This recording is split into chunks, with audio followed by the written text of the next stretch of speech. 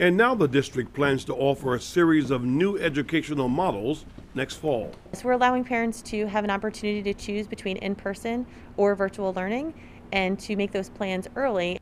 Harford County's Office of Curriculum, Instruction and Assessment says it's doing what families want. As we began to open our schools and allow students back into our buildings for instruction, um, we did have parents who still um, expressed the concern of their students staying home. Here's what's being offered for the fall the traditional five day a week in person instruction for students in grades K through 12 at 53 of the district's 54 schools. A second option, offered at the Center for Educational Opportunity, will have a virtual learning program for K through 12 students.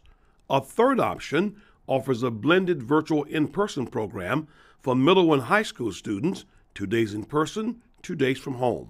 We have a double monitor system so they can have multiple screens going at the same time.